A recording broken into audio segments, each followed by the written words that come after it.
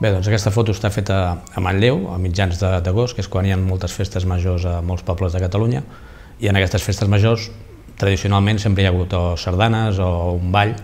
en aquest cas és la Copla dels Lluïsos, que és la més antiga de Catalunya. En aquest projecte crec que és important que es mostri tota la diversitat cultural que pot haver-hi, des del sonar a, a qualsevol festival, que sé, flamenc, és igual que sigui, però també és important que no ens oblidem de de les sardanes i les coses més folclòriques i més, potser més tòpiques. De la mateixa manera que és important que no ens oblidem que Catalunya no és només Barcelona i l'àrea metropolitana, sinó més a més totes les comarques i molts poblets que crec que és la que hem intentat entre tots aconseguir, que tothom hi surti una mica representat.